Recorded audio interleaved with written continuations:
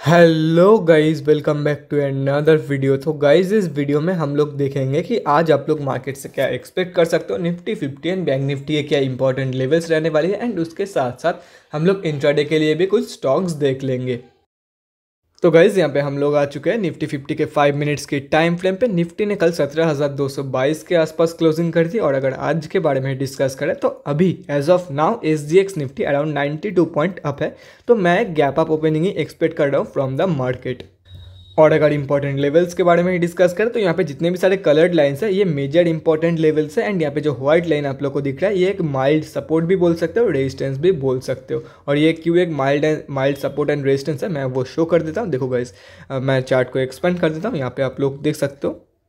ये एक mild support की तरह एक्ट किया है एंड ये एक माइल्ड रेजिस्टेंस की तरह एक्ट किया है। यहाँ से बहुत बार सपोर्ट लेके ऊपर गया है एंड बहुत बार रेजिस्टेंस पेस करके नीचे गया है।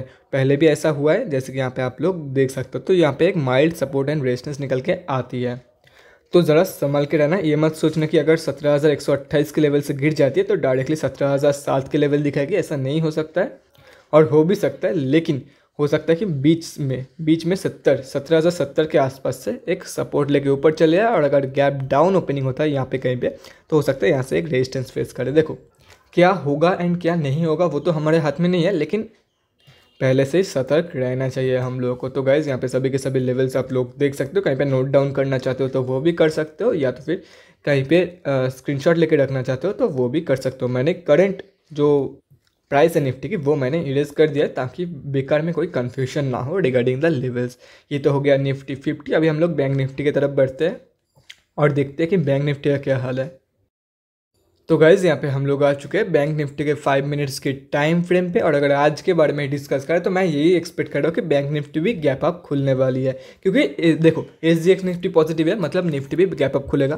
तो अगर निफ्टी भी गैप अप खुलता है तो मैं यही एक्सपेक्ट कर रहा हूँ कि बैंक निफ्टी का गैप अप खुलने का चांसेस ज़्यादा है। और अगर देखा जाए तो कल के दिन एक सिंक में ट्रेड कर रहा था बैंक निफ्टी निफ्टी के साथ। तो इसलिए मैं बोल रहा हूँ, एक गैप अप ओपनिंग आप लोग एक्सपेक्ट कर सकते हो फ्रॉम बैंक निफ्टी यहाँ पे सभी के सभी इंपॉर्टेंट लेवल्स आप लोग देख सकते हो। अगर चाहते हो तो स्क्रीन लेके रख सकते हो। कहीं पे नोट डाउन करना चाहते हो तो वो भी कर सकते हो। मैंने करंट जो प्राइस है, वो मिटा दिया है ताकि बाद में कोई भी कन्फ्यूज़न ना हो रिगार्डिंग द लेवल्स अभी हम लोग बढ़ते हैं हमारे दो स्टॉक्स की तरफ़, जिसमें आप लोग इंट्राडे ट्रेड ले सकते हो आज के दिन। तो गैज़ यहाँ पे हम लोग आ चुके हैं हमारे फ़र्स्ट स्टॉक पे। फ़र्स्ट स्टॉक का नेम है H D F C bank इसका भी फाइव मिनट्स के टाइम फ्रेम पे हम लोग आ चुके हैं। अगर कल के बारे में डिस्कस करें तो point one three percent H D F C bank up थी।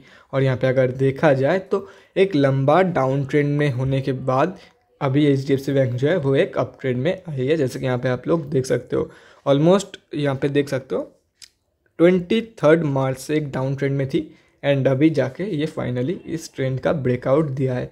तो मैं एक बुलिश मूवी एक्सपेक्ट कर रहा हूँ फ्रॉम दिस कंपनी आज के दिन। और अगर देखो, यहाँ पे एक सपोर्ट है, अगर इसके नीचे इसके नीचे अगर गैप डाउन ओपनिंग हो जाती है तो मैं बुलिश बिल्कुल भी नहीं हूँ बी हो जाऊँगा इमीडिएटली और अगर इसके ऊपर सस्टेन कर जाती है, जो सपोर्ट है, इसके ऊपर अगर सस्टेन कर जाती है हाँ हो सकता है कि गैप डाउन ओपनिंग हो गया।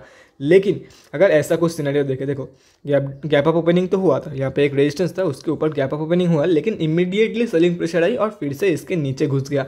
तो अगर ऐसा कुछ होता है तो ठीक है otherwise I am bearish about this company ठीक है? अगर गैप अप ओपनिंग हुआ सॉरी गैप डाउन ओपन हुआ, उसके बाद तगड़ा बाइंग प्रेशर आया और इसके ऊपर क्लोजिंग कर दिया तो ठीक है। और अगर इसके नीचे सस्टेन कर जाती है टिल नाइन फोर्टी फाइव तो मैं बी एड इस कंपनी में तो सभी के सभी इंपॉर्टेंट लेवल्स आप लोग देख सकते हो, किसके हिसाब से ट्रेड लेना है, आप लोग देख ही सकते हो यहाँ पे। ये तो हो गया फ़र्स्ट स्टॉक अभी हम लोग कल के लिए सॉरी आज के लिए सेकेंड एंड आखिरी स्टॉक देख लेते हैं। तो गैज़ हमारा जो लास्ट स्टॉक है वो है सान फार्मास्यूटिकल फाइव मिनट्स के टाइम फ्रेम पे हम लोग आ चुके हैं। कल के बारे में डिस्कस करें तो point three nine percent Sun pharma up थी। एंड यहाँ पे ओवरऑल कंसोलिडेटी कर रही थी, जैसे कि यहाँ पे आप लोग देख सकते हो। तो wait for the breakout of this range उसके बाद का टारगेट आप लोग के सामने है। अगर ऊपर की तरफ़ ब्रेकआउट हो रही है तो उसके हिसाब से ट्रेड लेना है। एंड अगर नीचे की तरफ़ ब्रेकआउट हो रही है तो उसके हिसाब से पुट बाइंग करना है आप लोगों को। और अगर इंट्राडे ट्रेड लेना चाहते हो तो इसके हिसाब से आप लोग कर सकते हो। सभी के सभी इंपॉर्टेंट लेवल्स आप लोगों के सामने हैं।